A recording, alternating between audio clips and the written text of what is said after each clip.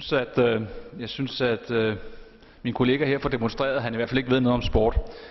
Øh, jeg vil gerne spørge, hvor hvis man ser bort fra de, sådan, øh, de politiske elementer i den øh, tale, vi lige har hørt, øh, kan, vil, øh, vil ordføreren så ikke bekræfte, at hvis man skal bekæmpe international kriminalitet, grænseoverskridende kriminalitet, så er det ikke nok kun at have en national politistyrke, når nu alle nationale politistyrker, man snakker med, håber på og råber på, at der kommer internationalt samarbejde mere end vi har nu.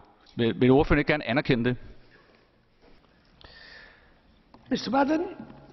Thank you very much. Yeah. Bertsen, jo jo.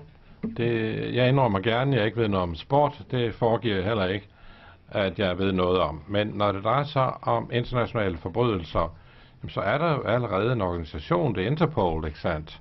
Og det er der for at dele oplysninger.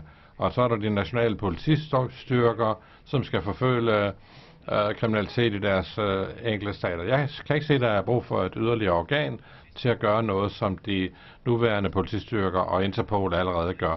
Jeg ved ikke, hvorfor man forestiller sig, at et andet organ, som EU skulle etablere, vil være mere effektivt end de andre organer, som øh, EU har etableret. Tak til